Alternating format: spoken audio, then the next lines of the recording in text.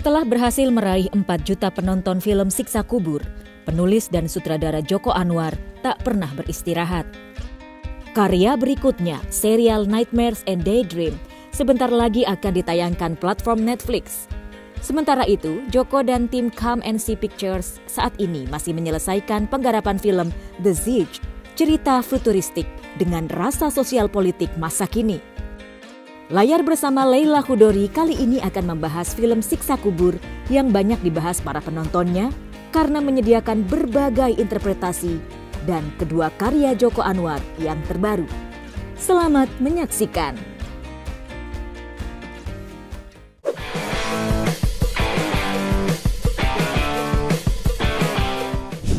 Jok 4 juta penonton. Gila. Tos dulu. Waduh, Yeah. congrats banget ya. Makasih. Siksa kubur nih, sampai katanya ada yang nonton empat kali, ada yang sampai enam kali. Karena harus ditonton berulang-ulang baru. Baru mereka penasaran kayaknya. Iya, penasaran Itu tuh heboh detail-detailan. banget ya.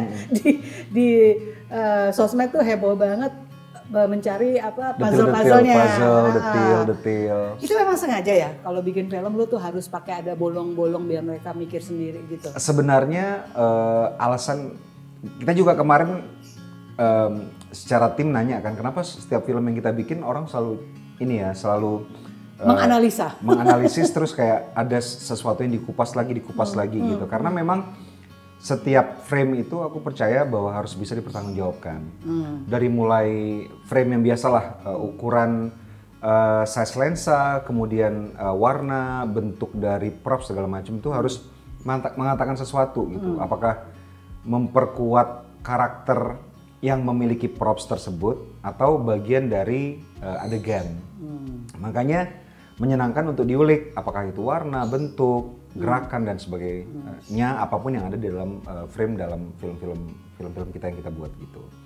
Jadi sebenarnya kalau mau dinikmati as it is nggak digali uh, clue-cluenya juga sebenarnya Nggak bisa, apa-apa. tapi nilai tambahnya adalah um, ada yang bisa dicari lebih jauh lagi, digali lebih dalam lagi gitu. But did you Sedikit purposely do that? Bahwa uh, there will be some clues or some Easter eggs, um, mereka suka Hmm. menyebutnya begitu, yang memang bisa dibahas jika mereka ingin membahasnya. Misalnya nih contohnya nih, paling banyak saya saya hitung-hitung ya uh, topik yang mereka angkat terus almost every day Mm-mm. a- adalah uh, apakah tokoh Sita dan tokoh Adil. Adil itu sebetulnya uh, terutama Sita ya itu sebenarnya udah meninggal, udah Yes. udah tewas, Ya. ya, bukan meninggal tewas. Mm-mm. Uh, dan mereka memberi tanda-tandanya gitu, clue-nya gitu. Ya. Itu pertanyaan yang bolak-balik di, di- dibahas gitu. Itu Joko sengaja gitu ya bahwa oke just let them talk about it, I'm just gonna do this gitu. Ya, kalau dari segi cerita sebenarnya aku kepingin tuh bikin film seperti film-film yang aku suka gitu. Hmm. Nah film-film yang aku suka tuh, mbak biasanya film-film yang nggak terlalu menjelaskan yang udah jelas gitu ya. Hmm. Em, misalnya ketika bikin film Sisa Kubur itu kan sudah obvious ya. Ah. Eh, Mbak Lela salah satu dari eh, one of the first readers dari Iya. skripnya. Ah, tunggu, ini gue mesti disclaimer dulu sama penonton. Iya. Saya salah satu yang membaca Skrip, skripnya iya. diundang sama Joko Iya. gitu ya. Dan Bersama yang lain kan? Yes. Ada belasan orang. Jadi Oke. eh, kalau kita di Kamensi Pictures bikin film, ya skrip yang sudah jadi biasanya kita challenge, kita uji, kita undang orang-orang yang paham cerita, paham skenario dari berbagai eh, background, Hmm, not necessarily harus writers tapi juga dari eh, bidang lain. ya. Eh, dan Mbak Lela adalah sat- salah satu dari grup pertama yang kita undang, kemudian kita undang beberapa orang lagi untuk kita uji eh, skenario nya gitu. Dari eh, pembicaraan dengan eh, orang-orang yang udah kita undang, sebenarnya ketika pembacaan skenario sudah jelas ceritanya. Hmm, hmm. Cuman em, nggak kepingin kita merasa bahwa penonton ini nggak bakal ngerti, jadi kita jelasin lagi gitu. Hmm, Dari segi pengadeganan nggak harus selalu dijelaskan dengan kata-kata secara verbal, tapi dari pengadeganan sudah jelas hmm, maksud dari cerita itu. Jadi nggak harus diceritakan lagi. hmm. Eh, dan ini yang membuat muncul interpretasi ternyata. Oke. Jadi bagi aku sebagai storyteller, aku sudah tahu yang mau diceritakan apa. Tapi Hmm. karena tidak over explained, tidak dijelaskan berulang-ulang sampai orang yakin, kebiasaan kita menonton kan selalu dicekokin ya Iya, oleh banyak betul. film gitu. Dan aku nggak suka film seperti itu karena Hmm. eh, bagi aku menonton film tuh eh, interaktif. In Hmm. a way bahwa aku juga diminta untuk berpikir, jadi nggak cuma dijejali informasi, tapi juga aku diminta untuk solve the the problems, Hmm. solve the the clues gitu, Hmm. dengan uh, petunjuk-petunjuk yang diberikan oleh uh, karakternya, Uh, dan itu yang mengasyikkan. Jadi kita secara aktif ikut dengan karakternya untuk menyelesaikan masalah mereka gitu. At least observe closely, Oke, oke. dan itu ternyata yang membuat uh, penonton uh, punya ruang untuk memberikan interpretasi yang berbeda. Biasanya kalau para penonton kan waktu itu kalian ngadain diskusi di space di Yes. mana-mana dan juga suka datang ke bioskop Yeah. gitu. Kalau ada yang bertanya, ini maksudnya apa sih bang? Ini Mm-mm. apa sih? Do you reply to that kind of question? Karena katanya tadi eh, ingin mereka Yeah. berpartisipasi dalam pembentukan cerita di in their minds of course gitu. Do Yeah. you answer that? Enggak. Jadi biarin aja biarin gitu. karena em, kalau aku mengiyakan atau menidakkan Ah. berarti aku em, tidak memvalidasi Bayangan pengalaman mereka. pengalaman orang lain gitu Ah, karena misalnya aku memvalidasi eh, kesimpulan dari seorang penonton yang mungkin berbeda dari orang lain Iya, ini akan membuat pengalaman orang lain ketika menontonnya ternegasikan gitu ya. betul jadi itu Ah. sesuatu yang jahat untuk orang untuk seorang filmmaker untuk memvalidasi satu opini karena itu tidak akan em, apa namanya membuat pengalaman menonton orang lain menjadi valid gitu. Kalaupun itu interpretasi dia Hmm. eh, si penonton itu agak berbeda dengan bayangan Joko gimana? You want It's okay. you, Ya. you just just let it gitu. Betul, it's okay. Jadi eh, menurut aku yang seperti selalu aku bilang eh, dalam berbagai kesempatan bahwa pengalaman menonton itu spiritual. Hmm, hmm. Um, kita bisa mendapatkan pengalaman, eh, kita bisa mendapatkan informasi yang sama lewat sebuah film. hmm. tapi cara uh, otak kita memprosesnya akan Beda-beda. menghasilkan konklus- konklusi beda. yang berbeda. Dan background orangnya juga beda-beda. Karena kan? apa? Karena kita memiliki background yang berbeda. Hmm. Um, kemampuan kita untuk uh, menerima sebuah uh, situasi, kondisi dalam sebuah cerita juga berbeda. Hmm, hmm, Kemampuan kita untuk memproses sebuah masalah juga berbeda. hmm, But that's the beauty of films. hmm, Um, ketika sebuah film bisa menimbulkan diskusi, hmm, apa pun itu, Hmm. I think it's always good gitu. hmm. Um, Oke. Karena terjadi komunikasi kan. Oke, Dan- jadi you never answer uh, people who interpret your movies dan apa mencoba bertanya validit validitasnya Iya. gitu nggak? At least not publicly. Tapi kalau Ah, misalnya ada oke. uh, temen uh, deket terus, ah. please, I'm really dying to know gitu. Ah, oke. Aku akan kasih tahu uh, my intention sebenarnya adalah ini ini gitu. Ah, oke. Nah, tapi uh, kalau misalnya uh, kamu berpikir yang lain, probably that's a better. Ya, that's another uh, yeah. another. Kalau gitu nanti abis ini, please. Oke, Jok. Nah ini uh, saya tuh sebenarnya tertarik. uh, kita masih siksa kubur ya, Ya. karena ini ini seru banget biarpun sudah lama diputar, tapi aku masih tertarik tokoh-tokohnya. Ya. Tokoh Sita nih menurut saya Mm-mm. gitu kelihatannya kayak mewakili pertanyaan-pertanyaan Joko about life, about uh, life after death, Ya. about death, Ya. dan juga tentang keraguan-keraguan atau minimal bukan keraguan ya, tapi eh, pertanyaan kritis lah bisa katakanlah begitu, pertanyaan kritis terhadap apa saja yang saya nggak necessarily mengatakan religi ya, tetapi apa saja yang bersi- bersifat dogmatis Ya. gitu. Si Sita kelihatannya seperti itu dan kok saya merasa itu mewakili Ya. uh, Joko, benar nggak sih? Uh, as kita sudah berteman lama, Ya. jadi Mbak Lela tahu. Mbak Lela ya tentunya paham ya. Um, sebenarnya dalam setiap film-film aku kan aku nggak no- not necessarily selalu membuat sebuah pernyataan ya. Ya betul. Uh, aku nggak force my opini, Hmm. uh, nggak memaksakan pandangan aku terhadap hidup Hmm. atau secara spesifik terhadap sebuah isu kepada penonton. Selalu memberikan most of the time memberikan pertanyaan Hmm. gitu. Um, sama halnya misalnya kayak film Kala, aku memberikan pertanyaan Iya. kepada penonton. Bagaimana jika seseorang yang akan memimpin kamu untuk menuju sebuah tempat yang lebih baik dalam bernegara Hmm. adalah orang yang berbeda nilainya dengan yang Hmm. kamu uh, uh, punya gitu. Hmm. Will you still be following them or not? Kan Hmm. gitu pertanyaannya. Sama halnya dengan sisa kubur, lebih banyak pertanyaan sebenarnya, kegelisahan. Kenapa aku Hmm. bilang sisa kubur adalah film aku yang paling personal? Karena semua Hmm. kegelisahan aku tentang pertanyaan-pertanyaan yang uh, lebih intensifies karena kita udah ber- berumur ya, Hmm, udah hmm. menjelang Iya. ya, akhir dari journey kita Udah sebagai udah udah manusia. ya, udah udah semakin dekat tuh garis gitu semakin kan. jadi uh, semakin banyak pertanyaan Iya gitu. betul.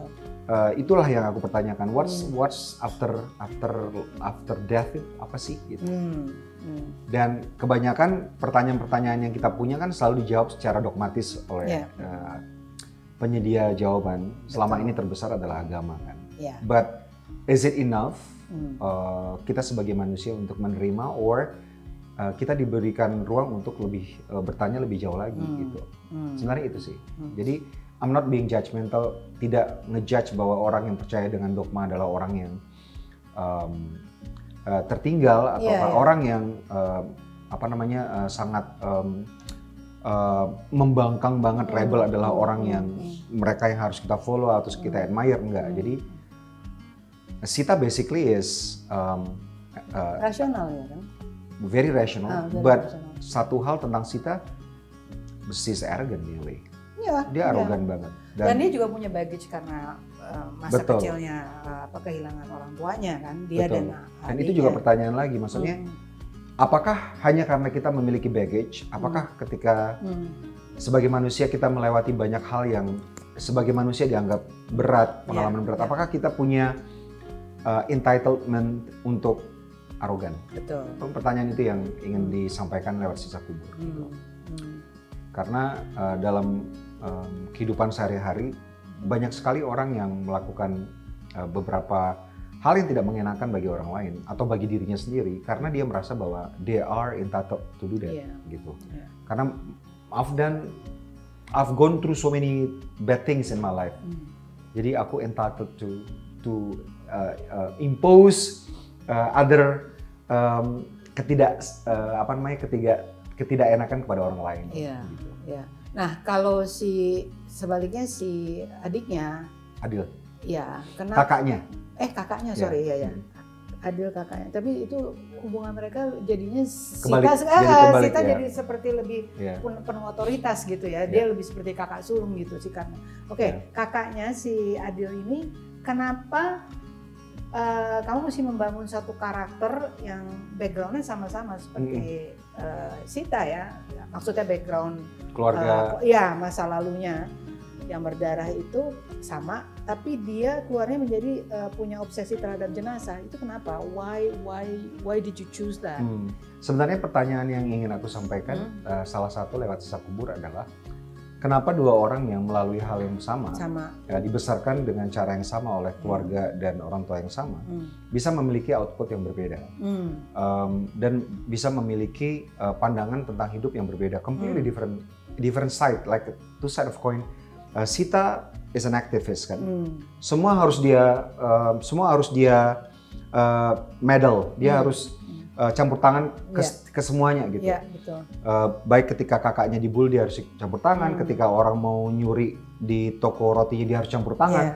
dia harus uh, secara aktif kasih tahu ke bapaknya ada orang nyuri, Hmm. ke- kepada ibunya ada orang nyuri gitu. Um, very aktif gitu. Iya. Semua dia harus um, apa namanya dia harus ikut campur Hmm. terhadap semua hal yang terjadi di dunia ini gitu. Hmm. Kebaliknya dengan Adil, um, he's a pacifist gitu. Hmm. Dia ngikut dan kenapa dia bekerja di um, uh, rumah duka? Rumah duka. Probably because uh, Sita memberitahu dia untuk bekerja di situ, Hmm. untuk membuat Sita convenient mencari orang yang berdosa. Sita tinggal dan bekerja di sebuah rumah jompo, scanning all these old people, siapa yang kira-kira cocok untuk jadi kandidat untuk di- di- disaksikan bagaimana dia mati dalam kuburan. Iya. Setelah mati, ada yang menghandle siapa? Menghandle dia si Adil. So ada banyak interpretation tentang bagi kenapa Adil punya fascination terhadap jenazah jenazah. dan asal mula kenapa Adil punya fascination terhadap jenazah there are, there are many reasons yang um, it's up to us dan kita bisa membuat beberapa justifikasi kenapa gitu. Hmm. Um, salah satunya I'm not trying to be a, a- a- seorang psikolog gitu, Hmm. tapi ada be- ada beberapa hal yang lewat riset yang memungkinkan Adil punya fascination terhadap jenazah. Tapi Adil menjadi seperti itu karena ada enablernya. Enablernya adalah Sita. Sita. So Sita is a past, eh, Sita is an activist ya. Hmm. Dia adalah seorang yang sangat aktif dan harus ikut campur untuk membuat dunia lebih baik menjadi Hmm. um, a better place for everyone. Ya. But at the same time, she becomes an enabler for something else yang darker, yang Meski lebih grim. sebenarnya mungkin nggak sadar ya. Dia Nggak sadar, nggak but sadar. that's how I I see things uh, dalam hidup kita Hmm. sering kali seperti itu. Iya, kan. iya. Kadang-kadang uh, some people merasa bahwa I'm being active in one thing because I want to you know push Yeah. the the the apa namanya push positivity uh, kemajuan di beberapa bidang but at the same time uh, mereka membawa kemunduran um, di bidang yang lain gitu. Iya. Nah, eh, ini saya ingat ya, ini adegan-adegan yang eh, sebenarnya eh, mengerikan, tetapi tetap salah satu yang melekat nih di benak saya adegan-adegan Adil ketika Hmm. dia bagaimana dia be- berinteraksi dengan jenazah-jenazah itu. Mm. Joko kan menampilkan beberapa image, image gitu Hmm. ya, image. uh, we don't know whether it's hantu atau itu Hmm. bayangannya dia Hmm. atau itu memang si arwahnya bangun. we we have no idea. Ya. Tapi yang membuat saya tertarik adalah sebenarnya the whole movie ini saya nggak merasa ini kayak horor Ya. gitu. Untuk Joko sendiri ini sebenarnya apa sih genrenya? Genrenya psychological horror. Psychological thriller, sorry. Psychological, Psychological thriller. ya. Oke, bukan horor kan? Karena there's jump scare-nya mungkin kalau saya hitung-hitung kali ada satu atau dua ya. Atau nggak ada.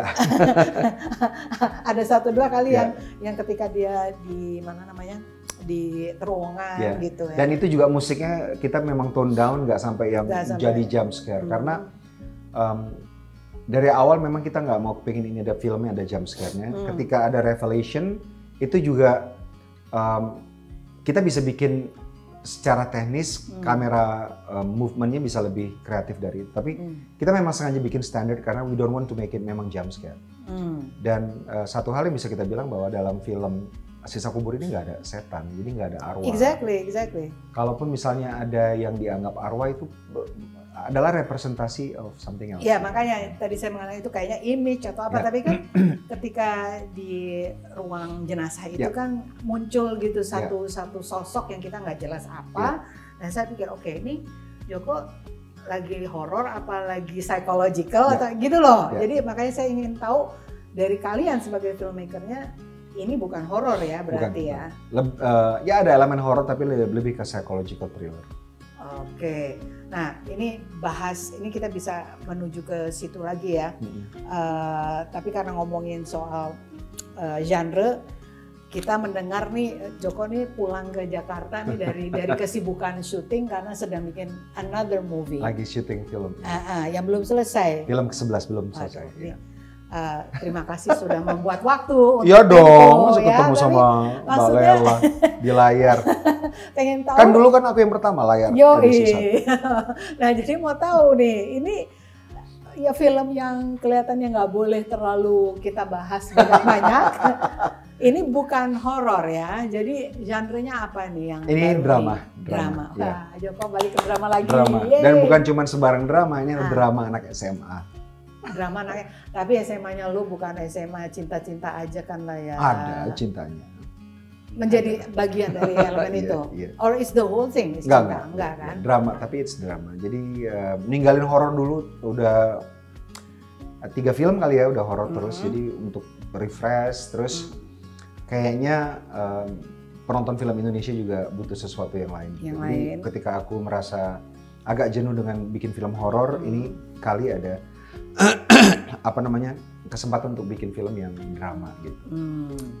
Dan alhamdulillah Mm-mm. nanti sebelum film ini tayang juga ada film dengan genre yang lain juga. Ah ya, kita bahas nanti yang itu ya. Mm-mm. Tapi yang film yang sedang syuting ini, Mm-mm. film drama, boleh nggak sih sedikit aja? Saya nggak minta spill sampai tumpah-tumpah enggak, tapi eh, apakah ada setting-setting tertentu? Is it is it the past? Ya. Kalau gue kan senangnya apa apa yang the past. Ya. Tapi gue juga senang sih the future gitu ya. Ya. What is it? Or is it present time? Or Um, yang bisa aku uh, kasih tahu sekarang adalah uh, it's about the past and the the future. wow, the past and the future. Ya. Pastnya Indonesia. Uh, not specifically harus Indonesia. Ada sejarah-sejarah dikit ya. um, We'll see. we'll see. Ini tahun berapa sih nanti tayangnya? Uh, tahun depan.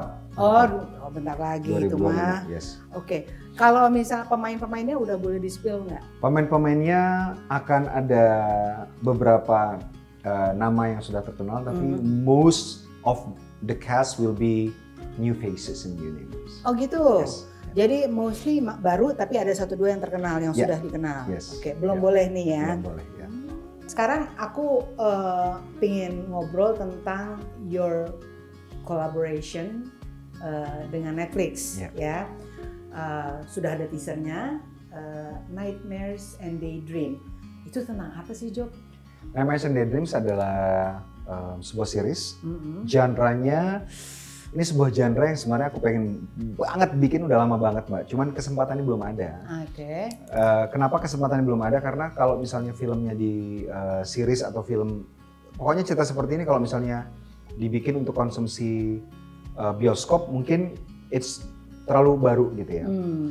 Tapi akhirnya ketemu partner yang memberikan creative Kebebasan. freedom, creative freedom untuk bisa mengeksplor genre, Hmm. mengeksplor storytelling dan sebagainya. Jadi science fiction temanya.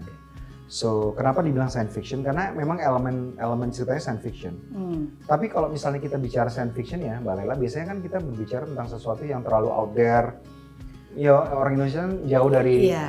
Elemen science fiction, we consume science fiction, tapi kalau mengaplikasikan, mengaplikasikannya ke film Indonesia, we have to be very careful. Iya. So, the way we approach uh, the series adalah dengan cara um, mencari cerita yang sangat dekat dengan kita. Uh, Yaitu? dari mulai dari karakternya.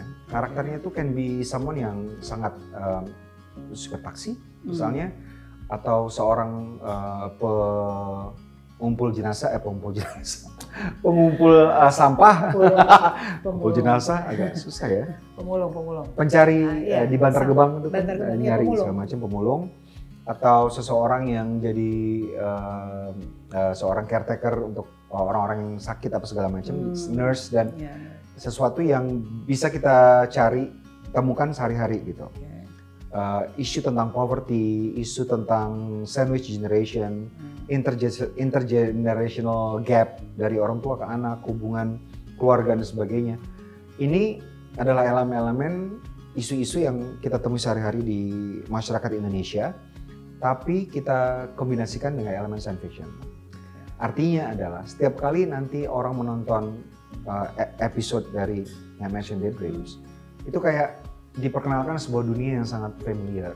Tapi lama kelamaan kita akan menarik penonton ke dalam sebuah dunia yang belum pernah mereka bayangkan sebelumnya. Hmm. Kalau dari teasernya yang Hmm. sudah beredar itu, Hmm. yang ditampilkan adalah bagian-bagian elemen-elemen yang dreamy gitu, yang Hmm. yang yang agak surrealis gitu. Ada uh, orang-orang yang mengenakan jubah, terus ada Hmm. lambang-lambang. Hmm. Jadi um, ya untuk kita yang belum tahu ceritanya, Hmm. yang hanya melihat dari visual itu kelihatan seperti ada cult, ada tentu ada ada sedikit science fictionnya juga itu kebayang ya. Hmm. Ya pertanyaan saya adalah karena kita belum tahu nih ceritanya seperti apa, baru tokoh-tokohnya, Hmm. itu Joko membangun jagat science fiction di Indonesia tuh agak saya nggak kebayang gitu Ya. tadinya, karena biasanya kalau science fiction yang kita saksikan nggak hanya Barat ya, kalau Barat sudahlah ya. Ya. Ini kan kemarin ini kan ada yang eh, eh, dibuat berdasarkan triloginya Sixin Liu ya, uh, Three Body Problem, Yeah. itu kan China, Yeah. ya kan, jadi Asia gitu. Yeah. Uh, itu juga tadinya waktu saya baca ini gimana sih ya China bikin bikin uh, bikin science fiction, how does it work? Yeah, Tapi pas yeah. saya baca, oh bisa ya ternyata gitu ya. Uh, bahkan dia membawa culture revolution, Yeah. ya culture revolution dibawa-bawa Yeah. sampai ke uh, masa kini. Hmm. Nah Joko tuh membawa elemen Indonesianya selain tadi tokoh-tokoh yang Yeah. biasa, apa yang kemudian berasa Indonesia tapi juga Hmm. science fiction. Eh, beberapa fenomena yang dialami oleh kita Hmm. biasanya kita take it for granted bahwa ini supernatural gitu supernatural Iya iya. uh, ghost spirit Iya, segala iya, macam iya. nah kalau di series kita Nightmares in the Dreams um, probably ada penjelasannya lebih scientific ketimbang simply, mistik, ya. simply supernatural Iya jadi iya. uh, elemen makanya kita bilang science fiction supernatural karena the supernatural element we we don't take it out karena it's very Hmm, Indonesian kalau iya. misalnya kita betul-betul wash it out kayaknya kayak orang terlalu boring Iya, gitu Iya iya. tapi tetap kita masukkan elemen-elemen ke Indonesia yang kita punya and we, we are very proud of it Hmm. Uh, at the same time we Misalnya apa? Boleh tahu nggak? Satu Um, aja kasih contoh. karena enggak, karena Indonesia memang very into mystic. Asia sebenarnya Yeah, ya. yeah. Asia Asia Yeah. in general ya, Yeah. bukan Asia Timur aja, Hmm. eh, Asia Selatan juga tuh. Yeah. Mystik tuh kan it's it's a part of our lives gitu. Nah, Right, ini yeah. apa yang kamu? Misalnya our fascination uh, kan banyak orang Indonesia, very, bukan cuma orang Indonesia, di seluruh dunia we are very fascinated with youth ya. Oke. Iya kan? Iya. And um, kalau orang Indonesia kan banyak sekali cara untuk Muda. muda, Tetap muda. but using mystic-mystic, gitu Iya. ya. supernatural uh, ways to Hmm. stay young and everything. Nah, tapi kalau di uh, series kita ada elemen itu, but we trying to make it more Science fiction. hmm, Nih, science fiction nih. ya, Jadi- science, science fiction-esque. Science. Jadi susuk dicampur dengan Loh ya tadi katanya youth. Kalau Jadi- youth kan biasanya susuk. Jadi susuk dan science fiction gitu ya. susuk nih. Oke, tapi basically the apa ya visi atau target tujuan Hmm. tokoh-tokohmu di dalam uh, Nightmare and Daydreams ini adalah bertahan atau ingin mencapai sesuatu yang tadi science fiction itu yang Hmm. we want to be young all the time or there there, there is something yang, one yang of the small ada ya. urgensinya nggak gitu loh. Oh, urgensinya of course. Sama seperti uh, yang disampaikan lewat teasernya, Ah, ya kan? ah. To save the world, Yeah, to save the to world. save yeah. humanity. Yes. Oh. It's it's big. It's, So basically sebenarnya semua uh, jagat itu dalam dalam bahaya gitulah ya. anyway ya. Oh. Rahasia terus. Oke, tapi uh, science fiction movies atau serial yang kamu suka apa? Aku tuh uh, Boleh including dengan time travelers uh, serial loh, movies like like Dark misalnya. oh yes, uh, but um, my one of my favorite science fiction films, Hmm. the biggest influence, Mm. not just for uh, the current project that I have, Hmm. In terms of cara dia bercerita Mm. dan enggak lay everything Hmm. over explain things to the audience Hmm. dan ketika aku keluar dari nonton film ini tahun 96 Hmm. dari bioskop Bandung Indah Plaza pada waktu itu aku jalan sampai ke Ciamplas ngobrol sama temanku itu nggak kerasa loh Saking ngobrol sa- terus itu nonton dua kali jadi nonton yang pertama bisa duit nggak bisa uang nggak nonton lagi Nonton yuk, lagi. nonton lagi itu tetap ngobrol 12 Monkeys Terry Gilliam Twelve Monkeys. Siapa nama ininya? yang pemainnya Fincher ya? Bukan ya? Eh, Eh, bukan. Terry Gilliam Oh, Terry Gilliam. Ya. Dia kan kalau nggak salah sebelumnya juga ada film yang aneh juga tuh. Brazil. Ya. Did you watch that? of course Itu gila itu, itu gila. Terry itu Gilliam agak is agak a- sinting kalau itu. Oh, you like that kind ya? You Oh, like yes. that kind. Makanya film-film aku semua ketika orang nonton, ketika keluar tuh masih ada yang tertinggal untuk didiskusikan ya gara-gara film-film Terry Gilliam. Tapi agak iri kalau nonton film dia, iri. Kalau film-film Terry Gilliam justru lebih playful. Kayak Brazil kan is very playful, even uh, the ah, music. Serem ya. Brazil, ya? na na na na na na na. Kayak uh, Tall Monkeys juga eh, teret teret teret. Aku Brazil nonton waktu zaman kuliah. Iya. It's crazy. Serem ah kalau menurut saya itu. Dia very playful. He's mad. He's uh, my genius Terry Gilliam. But yeah. Oke, hanya itu. Just just 12 Monkeys-nya Terry Gilliam yang lain nggak ada lagi ya, European or- Banyak, but itu yang lebih paling striking. Ada satu filmmaker yang um, very underrated menurut aku, namanya David Tohi. Oh, David Tohi itu dia bikin, probably yang paling terkenal filmnya adalah Pitch Black. hmm. Tapi he made uh, some uh, great science fiction. One of them is called uh, Disaster in Time. Hmm. Tentang uh, a widower sama anaknya uh, di sebuah kota kecil yang nothing happen. Tiba-tiba ada sebuah hotel penginapan didatangi oleh orang-orang yang dari cara mereka berbicara, berpakaian tuh aneh banget gitu. Hmm. Terus ternyata orang-orang ini berkumpul di sebuah disaster, natural disaster gitu. Hmm. Hmm.